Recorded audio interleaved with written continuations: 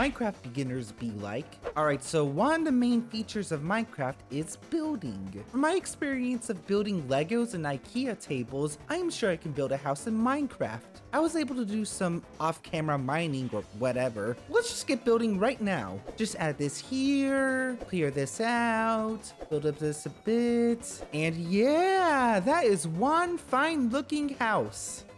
Why does a mine look like that? Ah!